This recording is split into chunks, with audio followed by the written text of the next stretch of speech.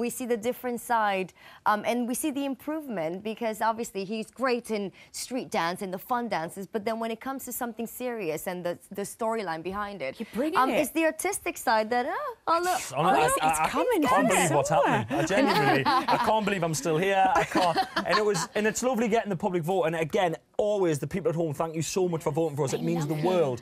But also to get a little pat on the back from the judges to be third on the Nice leaderboard with something like a paso, which I've been so scared of.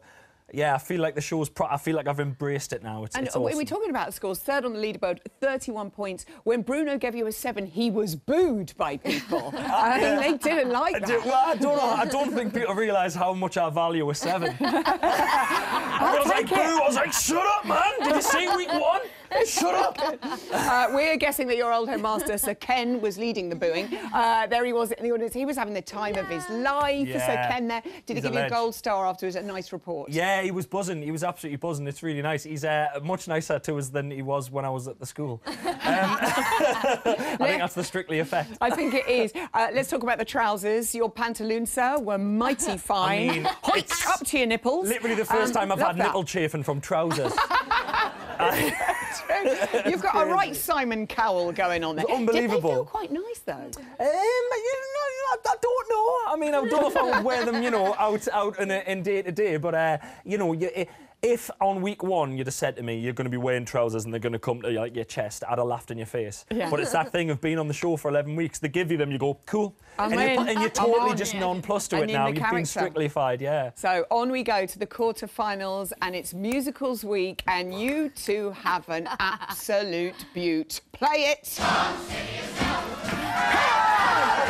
I'm so excited for you. Have you discovered this week that you were probably always born to play the Artful Dodger? Honestly, I, I honestly love it. This is the first week. Karen turned to me the other day and she said, "This is the first week you haven't said you hated the dance. Is it really? First week I haven't spat me dummy out." Oh gosh, yeah, let's I hope love it. that's not jinxing it or anything like that. same. Touch I- everything that's wood. I, yeah, I'm the same. I'm touching wooden things Yeah. almost constantly. Um, but yeah, it's it's. I just loved it. Hey, hey. Hey, family, please. Um, I'm absolutely, genuinely loving this Yeah, you dance. are. It's fun. Um, you're you're Oliver. Yes. I was going to say, are you Oliver. Oliver, you Nancy, Yes. or you? Yeah, okay. I'm Oliver, Oh, and uh, you know he's buddies bringing me around, but it's Yeah. fun. It's we're giggling. Like I know we're dance is supposed to be fun, but I think we're having too much fun.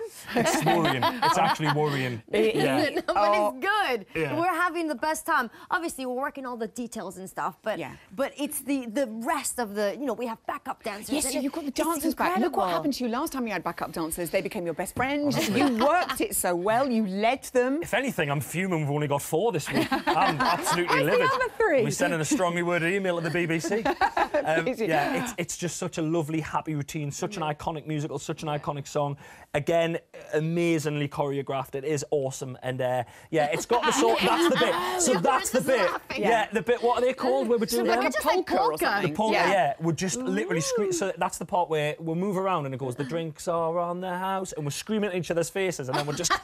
I can't wait to hear the mics afterwards when they play the mics back. very It's going to fun. be phenomenal. Uh, now, if you go through this in the semi-finals, and then we're a week from the final, how are you feeling don't. about all of this, Chris? Um, I'm going to be honest with you. Every single week, the VT team, the guys who film us, they go, "Oh, pressure's on, Chris," and I go, "No."